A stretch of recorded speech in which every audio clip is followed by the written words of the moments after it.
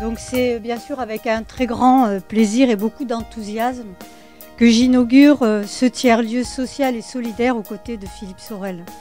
Merci Monsieur le maire de nous avoir permis de nous installer avec nos équipes dans ce lieu euh, magnifique, ce lieu presque magique et qui se situe au cœur de notre ville.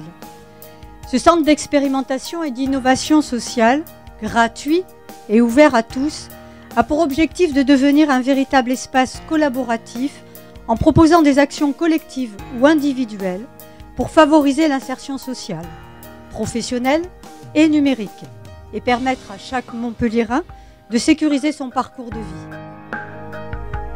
En fait, euh, Montpellier est une ville de survivors. C'est une ville euh, qui n'a pas de grande industrie, qui est obligée de se remettre en question en permanence pour trouver des solutions à la fois à la croissance démographique et à répondre à un meilleur niveau de vie. C'est pour ça que ça nous rend plus intelligents, c'est parce qu'on est dos au mur en permanence. Donc quand vous êtes dos au mur, vous êtes bien obligé de vous débrouiller. L'inclusion, c'est ça, c'est permettre aux gens de trouver de l'emploi in fine. Hein.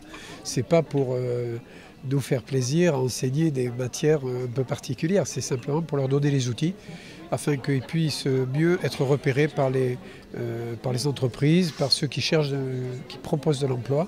Parce qu'il y a des offres d'emploi, mais malheureusement, il y, a, il y a une discordance terrible entre les demandeurs, la qualification des demandeurs d'emploi et les emplois proposés. Et ça, c'est un phénomène qui est pas récent, mais qui s'est aggravé avec le temps. Et dans une zone à forte progression démographique comme la nôtre, ça peut prendre des accents, des accents euh, très difficiles à supporter.